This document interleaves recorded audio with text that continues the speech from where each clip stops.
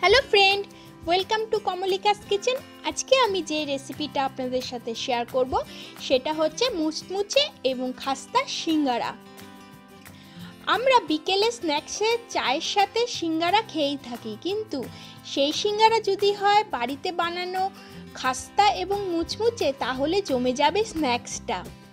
আর অনেক সময় আমরা বাড়িতে যখন সিঙ্গারা বানাই, সেটা ভাজার পর সেটা মুচমুচে বা খাস্তা হয় না। কিন্তু সেটা কীভাবে খাস্তা করা যায় বা কি করে মুচমুচে হয়, সেই কিছু টিপসও আমি আপনাদের এই ভিডিওতে শেয়ার করব।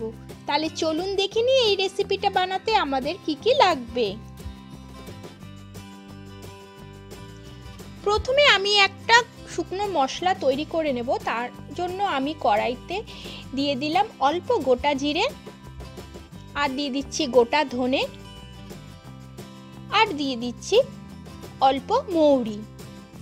এখানে আপনারা শুকনো লঙ্কা দিতে পারেন, কিন্তু আমি দিইনি। আমি কাঁচা লঙ্কা ব্যবহার করেছি বলে ঝাল বেশি হয়ে যাবে বলে আমি এই মশলাতে শুকনো লঙ্কা দিইনি। গ্যাস কমিয়ে এই মশলাগুলোকে একটু ফ্রাই করে নেব। পাঁচ মিনিটের মতো যখন এটা একটু গরম হয়ে যাবে, তখন এটাকে নামিয়ে আমি গুঁড়ো করে নেব। এছাড়া আমি নিয়েছি আলুটাকে নুন দিয়ে ভালো করে সেদ্ধ করে নিয়েছি। আর সেদ্ধ করার পর এটাকে খোসা ছাড়িয়ে টুকরো ছোট টুকরোয় কেটে নিয়েছি। এখানে নিয়েছি ফুলকপি। এটাকেও নুন দিয়ে আমি পাঁচ মিনিট গরম জলে ভাপিয়ে নিয়েছি একদম ছোট ছোট টুকরোয় কেটে। এছাড়া নিয়েছি মটরশুঁটি। আর নিয়েছি কাঁচা লঙ্কা। কাঁচা লঙ্কা আপনাদের পরিমাণ মতো আপনারা নেবেন। প্রথমে প্রথমে কড়াইয়ে দিয়ে দিচ্ছি পরিমাণ মতো সর্ষের তেল। এখানে আমি প্রথমে পুরটা তৈরি করছি, সিঙ্গারার পুরটা। তো এই পুরের জন্য আপনারা যদি সর্ষের তেল ব্যবহার করেন, তাহলে খুব ভালো হয়। সর্ষের তেলটা যখন ভালো করে গরম হয়ে যাবে, তখন আমি এর মধ্যে ফোড়নে দিয়ে দিচ্ছি পাঁচ ফোড়ন। পাঁচ ফোড়নটা যেই ফুটে যাবে তখন আমি এর মধ্যে দিয়ে দিচ্ছি আদা বাটা। আদা বাটা একটু বেশি করে দেবেন। আর আপনারা যদি পারেন তাহলে তেলটা একটু ঠান্ডা করে তবে আদা বাটা দেবেন, না হলে কিন্তু আদা দিলে প্রচণ্ড ছেটে। আদা বাটা দেওয়ার পর এরপর আমি দিয়ে দিচ্ছি কাঁচা লঙ্কা। আমি এখানে দু থেকে তিনটে কাঁচা লঙ্কা দিয়েছি, আপনারা চাইলে বেশিও দিতে পারেন। আদা আর কাঁচা লঙ্কা দিয়ে ভালো করে তেলের মধ্যে একটু নেড়ে চেড়ে নিচ্ছি। এটাকে কিন্তু দু মিনিটের মতো একটু নাড়াচাড়া করে নিতে হবে, বেশি ফ্রাই করবেন না। পর আমি এর মধ্যে দিয়ে দিচ্ছি ফুলকপি। তো টুকরোয় আমি কেটে রেখেছিলাম ফুলকপিগুলোকে। এটা কিন্তু পাঁচ মিনিট জলে একটু ভাপিয়ে নেওয়া। ফুলকপি দিয়ে ভালো করে নেড়ে চেড়ে নিচ্ছি। এখানে কিন্তু ফুলকপিটাকে একটু ভাজা ভাজা করতে হবে। ফুলকপিটাকে একটু ভাজা ভাজা করে নেবেন। দেখুন, ফুলকপিটা আমার ভাজা ভাজা হয়ে গেছে। এরপর আমি দিয়ে দিচ্ছি এর মধ্যে আলু, যেগুলো টুকরোয় কেটে রেখেছি। এটা কিন্তু সেদ্ধ করেছি। আর যখন সেদ্ধ করবেন, আলুটাকে কিন্তু একদম বেশি সেদ্ধ করবেন না, যাতে গলে যায়। গলে গেলে কিন্তু আলু একদম ভালো লাগবে না। আলু দিয়ে ভালো করে মিশিয়ে নিচ্ছি।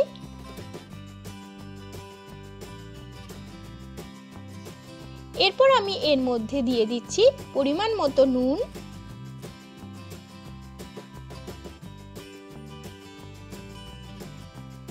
আর দিয়ে দিচ্ছি হলুদের গুঁড়ো। দিয়ে ভালো করে মিশিয়ে নিচ্ছি। এখানে কিন্তু আলুটাকেও ভালো করে ফুলকপির সাথে ভাজা ভাজা করতে হবে।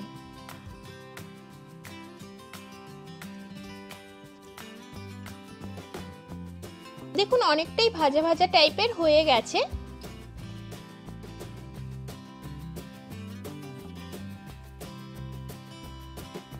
এরপর আমি এর মধ্যে দিয়ে দিচ্ছি মটরশুঁটি। আপনারা যদি মটরশুঁটি পছন্দ না করেন, তাহলে দেবেন না। আর দিয়ে দিচ্ছি রোস্টেড বাদাম। দিয়ে ভালো করে মিশিয়ে নিচ্ছি।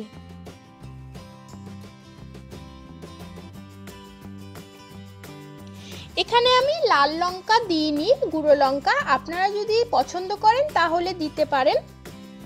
এটা অপশনাল এরপর আমি এর মধ্যে দিয়ে দিচ্ছি ওই ভাজা মশলাটা। যেই মশলাটা আমি আগে তৈরি করেছিলাম, সেটাকে আমি মিক্সিতে গুঁড়ো করে নিয়েছি। দেখুন, এটাকে একদম মিহি করে গুঁড়ো করবেন না, একটু দানা দানা রাখবেন। তাহলে ভালো লাগে এবং মুখে পড়লেও সেটা ভালো লাগবে খেতে। দিয়ে দিলাম মশলাটা দিয়ে ভালো করে মিশিয়ে নিচ্ছি। এরপর আমি দিয়ে দিচ্ছি অল্প কিশমিশ এটা আপনারা যদি পছন্দ না করেন তাহলে দেবেন না। এটা সিঙ্গারাতে অনেক মিষ্টির দোকানেই দেয় না। কিন্তু এটা আমি একটু নিজের মতো করে করেছি, সেই জন্য যাতে টেস্টটা ভালো আসে, সেই জন্যই আমি দিয়েছি। আপনারা যদি না চান তাহলে দেবেন না। আর সিঙ্গারার ক্ষেত্রে সিঙ্গারার পুরটা যদি টেস্টি এবং খেতে টেস্টি এবং মজাদার না হয়, তাহলে কিন্তু সিঙ্গারা ঠিক জমে না। কিশমিশ দিয়ে আমি ভালো করে মিশিয়ে নিচ্ছি পুরটার সাথে।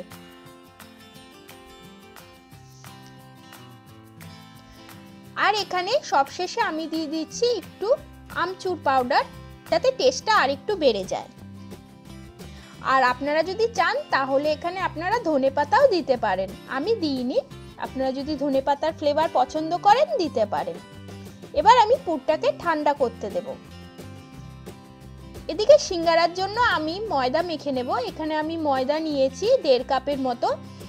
নিয়ে ময়দা দিয়ে এখানে আমি দিয়ে দিচ্ছি অল্প নুন। নুন দিয়ে ভালো করে মিশিয়ে নিচ্ছি ময়দার সাথে।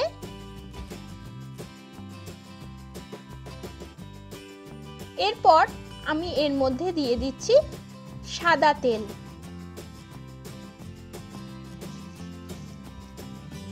আমি টু টিস্পুনের মতো সাদা তেল দিয়েছি, দিয়ে ভালো করে মিশিয়ে নিচ্ছি। এই ময়মটা কিন্তু খুব ভালো করে দেবেন। ময়মটা যদি ভালো করে না দেওয়া হয়, তাহলে কিন্তু সিঙ্গারা একদম খাস্তা হবে না এবং একদমই মুচমুচে হবে না। ময়ম যত ভালো দেবেন, সিঙ্গারা তত বেশি ভালো হবে। দেখুন, এরকম হাতে মুঠো করলে যখন এরকম একটা টেক্সচার আসবে, তাহলে বুঝবেন যে হ্যাঁ ময়মটা দেওয়া ভালো হয়েছে এবং ঠিক হয়েছে। এরপর আমি দিয়ে দিচ্ছি অল্প কালো জিরে। কালো জিরে দিয়েও আবার এক, মিশিয়ে নিচ্ছি খুব ভালো করে। এরপর আমি ময়দাটা মাখবো একটু উষ্ণ গরম জলে, তাই দিয়ে দিচ্ছি গরম জল। গরম জল একেবারে দেবেন না, অল্প অল্প করে মেশাবেন, যতটা প্রয়োজন হবে ততটা দেবেন। একেবারে কিন্তু জল দিয়ে দিলে ময়দাটা একদম নরম হয়ে যাবে এবং মাখাটাও ঠিক হবে না।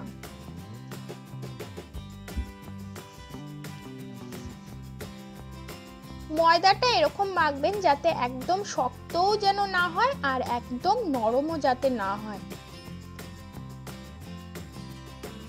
দেখুন, এরকম হবে মাখাটা।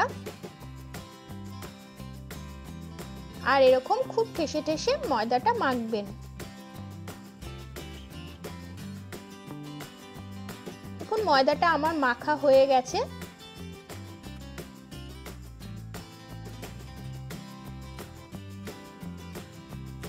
এরপর আমি একটু অল্প হাতে তেল নিয়ে নিচ্ছি। তেল নিয়ে ময়দার ওপরে মাখিয়ে রাখব। ময়দার ডোটার ওপর মাখিয়ে দিলাম।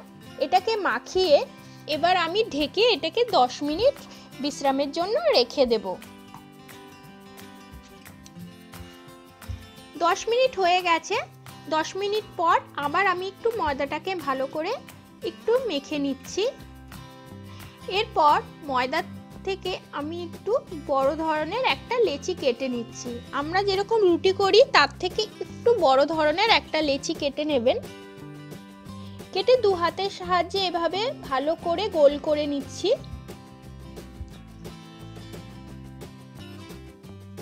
গোল করে এবার এটাকে বেলতে হবে। এটাকে একটু লম্বা ধরনের বেলবেন। দেখুন, গোল নয়, একটু লম্বা ধরনের এটাকে করতে হবে। ওভাল টাইপের করবেন।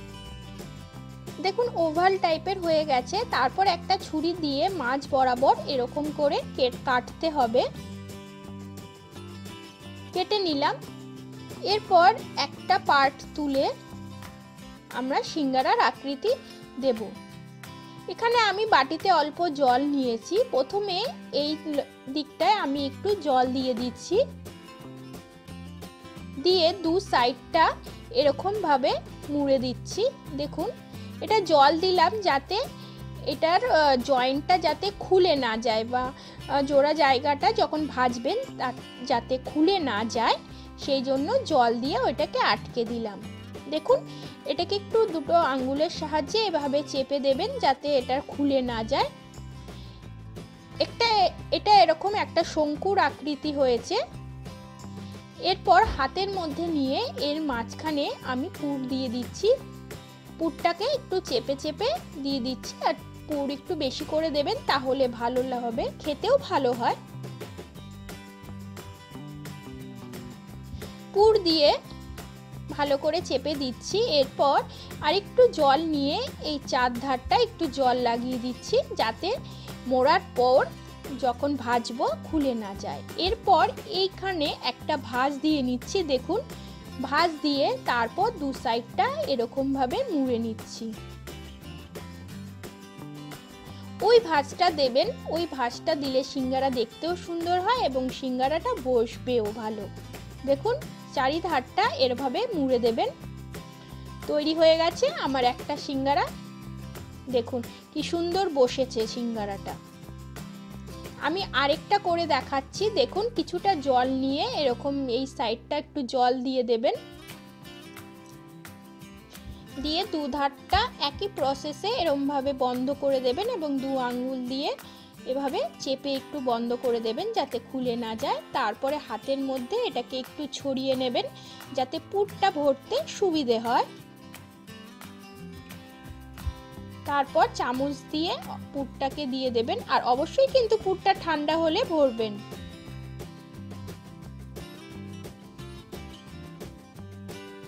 পুর দিয়ে দিচ্ছি, পুরটাকে একটু চেপে চেপে দিচ্ছি।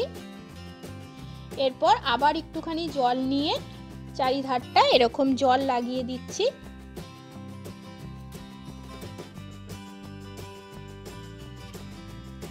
দিয়ে এখানে একটা এরকম ভাঁজ দেবেন। ভাঁজ দিয়ে তারপর দু সাইডটা এইভাবে মুড়ে দিচ্ছি। হাত দিয়ে একটু প্রেস করে করে মুড়ে দেবেন যাতে খুলে না যায়। আর খুলবেও না, যাতে যদি ভালো করে বন্ধ করেন। আর জল লাগাচ্ছি বলেও এটা কিন্তু খুলবে না, একদম পারফেক্ট হয়ে যাবে। দেখুন, তৈরি হয়েছে না? দোকানের সিঙ্গারার মতো দেখতে একদম। ভাজার পর ততটাই হবে দারুণ। এভাবে আমি সবকটা সিঙ্গারা করে নিচ্ছি। আপনারা যদি প্রথমবার করেন সিঙ্গারা, তাহলে হয়তো একটু সময় লাগবে বানাতে। কিন্তু করতে করতে দেখবেন এটা কত চটজলদি বানানো যাচ্ছে এবং কত ইজি বানানো। এভাবে বাড়িতে তৈরি করে সিঙ্গারা খাবেন, তাহলে স্বাস্থ্যের জন্য খুবই হেলদি কারণ দোকানের সিঙ্গারা ডালডাতে ভাজে বা কতদিনের পুরনো তেলে ভাজে সেটা কিন্তু একদম ভালো না স্বাস্থ্যের জন্য। তাই জন্য ইজিলি আপনারা বাড়িতে তৈরি করে ফেলুন। দেখুন সব কটা সিঙ্গারা আমার তৈরি হয়ে গেছে। আমার এখানে যতটা ময়দার পরিমাণ নিয়েছি, তা দিয়ে আমার বারোটা সিঙ্গারা হয়েছে। আপনারা ছোট সাইজ করতে পারেন, বড় সাইজও করতে পারেন। আমি মিডিয়াম সাইজের বারোটা সিঙ্গারা আমার তৈরি হয়েছে। তাহলে চলুন এটাকে এবার ভেজে ফেলি।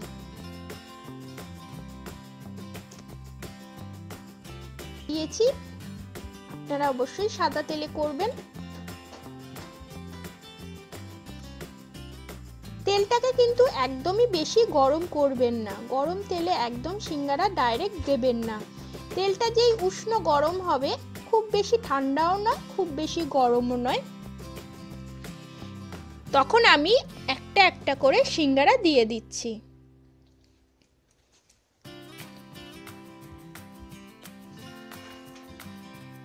দেখতেই পাচ্ছেন আপনারা যে তেলটা বেশি গরম নয় আমি এখানে তিনটে সিঙ্গারা দিয়ে দিয়েছি।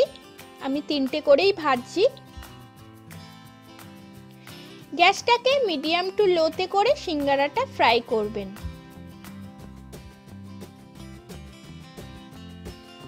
মাঝে মাঝে সিঙ্গারাটাকে এভাবে উল্টে পাল্টে দেবেন, না হলে কিন্তু একদিকটা বেশি লাল এবং পুড়ে যেতে পারে।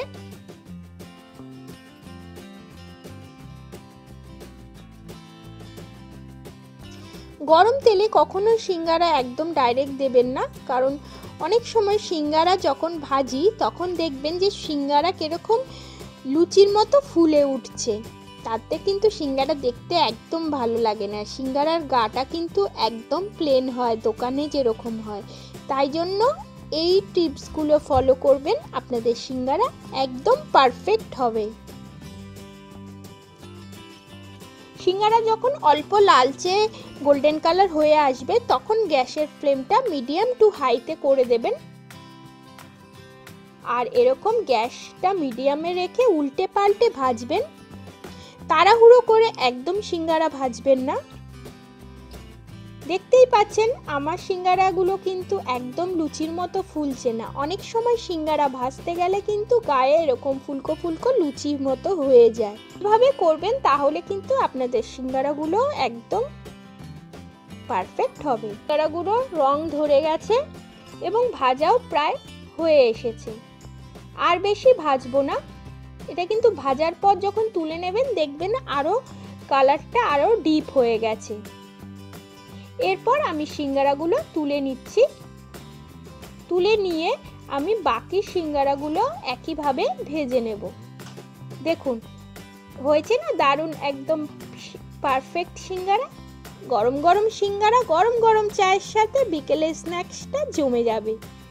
তাহলে চলুন এটাকে পরিবেশন করে দিই। তৈরি হয়ে গেছে আমার খাস্তা মুচমুচে সিঙ্গারা। যদি ভালো লেগে থাকে আমার এই রেসিপিটা তাহলে অবশ্যই নিচে একটা ছোট্ট করে লাইক করে দেবেন এবং শেয়ার করে দেবেন আপনাদের ফ্রেন্ড এবং ফ্যামিলির সাথে। তাহলে আজকের মতো এই পর্যন্ত। টাটা বন্ধুরা, ভালো থাকবেন, সুস্থ থাকবেন।